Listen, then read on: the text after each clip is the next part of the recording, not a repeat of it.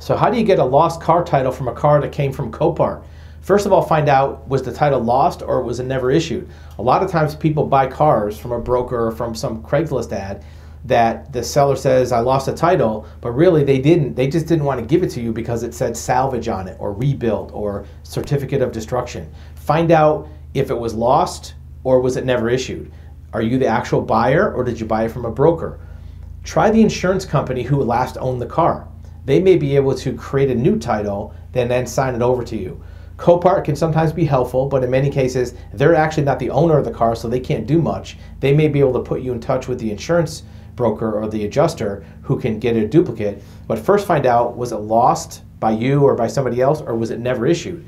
Find out if the auction even was supposed to give a title. Some cars are sold without titles because they're never supposed to go back on the road, uh, like a non-repairable or certificate of destruction. So find out if it's lost or never issued. Are you the buyer or broker? And then start with the insurance company, and you can see what you can do about getting a lost car title from Copart.